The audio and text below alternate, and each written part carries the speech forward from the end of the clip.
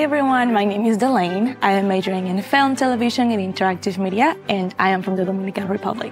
My name is Scarlett. Um, I'm currently studying International Global Studies and Anthropology. I'm from Shanghai, China. I am Nizar and I am from a very tiny village named Oshkandas in Pakistan. And I'm studying Masters in Peace Studies and Conflict Resolution. I'm Bhavitha.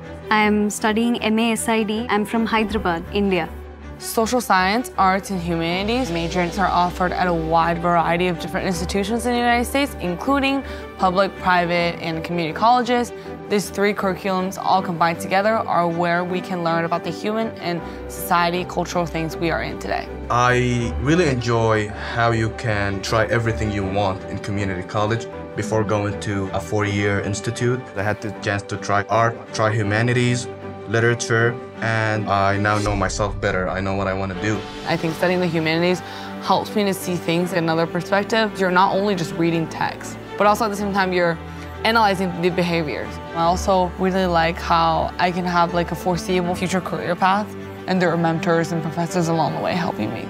I always knew that I wanted to do something into the arts, but I think studying in the US inspired me to really go beyond that. So for me, it's been interesting to use film as a platform for like racial justice and just finding new ways to use my art and my passions to impact my community and beyond.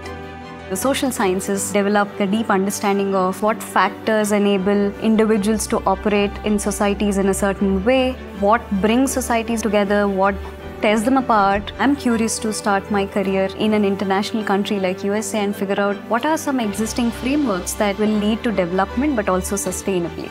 US has the most diverse culture which enhance your cultural competency when you go out for your career. It makes you more skillful when you work with different people in different settings and I can contribute towards my community or back home more in a diverse way I think for me, one of my highlights of studying in the US has been to be part of a community where everyone is so passionate for learning. Like the conversations that you get in the classroom are so interesting because they're all from different perspectives.